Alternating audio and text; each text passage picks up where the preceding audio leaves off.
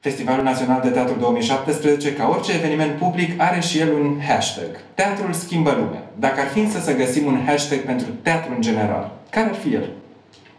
Păi, eu mă gândesc că putem să vorbim despre viață, putem să vorbim despre cum despre schimbare, despre strigăt, de durere, despre uh, atenționarea unui fenomen, nu? Uh, teatru ajută foarte tare și sper din suflet.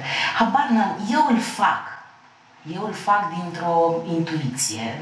Nu știu să o teoretizez uh, ce fac exact, dar dintr-un egoism feroce mă expun în fiecare seară de ceva ani uh, acestui fenomen. Să fie egoism, alții ar spune altruism.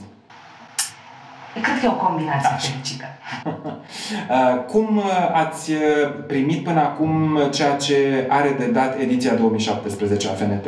Este foarte colorată. Asta vreau să spun. Sunt și onorată că um, particip cu două spectacole cu Robegan și Kimberly în acest festival um, sunt plină de, de informații, de, de imagini, sunt uh, depășită de acest eveniment puțin și recunosc că sunt înaintea unui spectacol și niciodată nu vorbesc uh, despre ceea ce fac înaintea unui spectacol, acum am făcut o excepție. Bun, atunci nu vorbim despre Kimberly care e în seara asta, dar vorbim despre Ro Vegan care nu se scrie cum ne așteptăm, ne așteptăm cu toți, este Ro Vegan pur și simplu, uh, scriem cum uh, citim. Uh, care este uh, miezul de, de gust, ca să rămân în uh, nota aceasta a spectacolului Ro Vegan?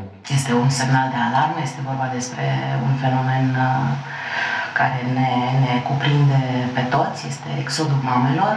Mamele pleacă la muncă în Italia ca să-și întrețină familia. Este strigătul copiilor care rămân în urmă, balansul acestor mame între cele două luni, ele nu știu exact căror, căr, cărei luni aparțin.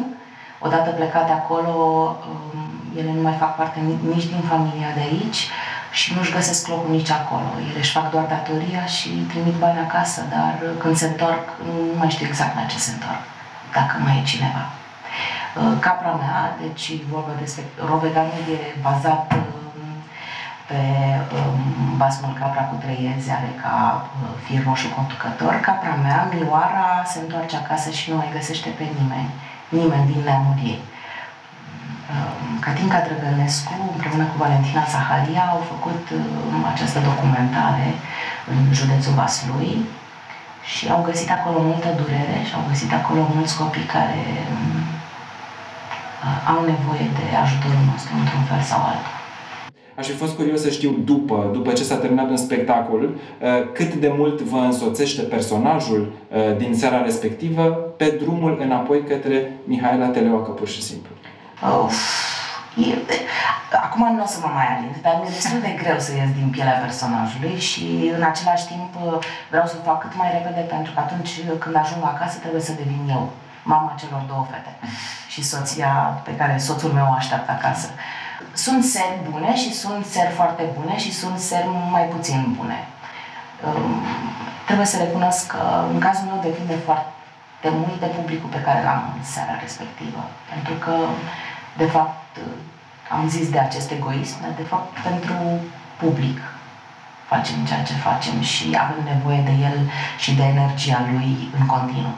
Un personaj crește, un spectacol devine amuzant sau trist în funcție de reacțiile pe care publicul le are. Festivalul Național de Teatru generează un soi de vibrație în viața culturală a Bucureștiului, care îmi doresc să fie propagată și după ce se termină această ediție 2017. În ce vă mai pot vedea uh, spectatorii în stagiunea curentă? Păi eu o să încep cu o scrisoare pierdută, un spectacol care se joacă de ceva ani buni aici, cu Marcel Iure și George Mihăiță. Um, Pescărușul la Bulandra, unde fac uh, o arcadină interesantă, spun eu, și nu numai eu. Și pentru fiecare n-am, n-am spus regine, n-am spus colegii, n-aș vrea să se supere cineva că doar am amintit spectacolul.